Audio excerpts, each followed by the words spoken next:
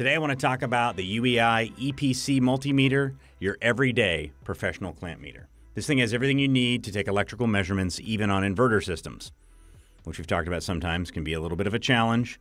It's a true RMS meter, which means that, again, it's going to give you accurate readings even when you have a non sinusoidal waveform.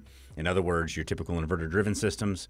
And it's going to take all the measurements you need AC and DC voltage, amps and DC microamps for flame rods, resistance, continuity and capacitance testing, and locked rotor amp inrush. Plus temperature, and it comes with a K type temperature probe. The grip is really nice. It doesn't feel bulky or awkward. It comes with a jaw mounted test lead holder to keep those clean and good working condition. Has a magnetic hanger strap that lets you mount the meter when you need to hold both leads.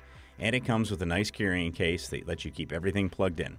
It also has Bluetooth connectivity and connects to the UEI Hub app for live readings. Find out more about the EPC, your everyday professional clamp meter, from our friends at UEI at ueitest.com.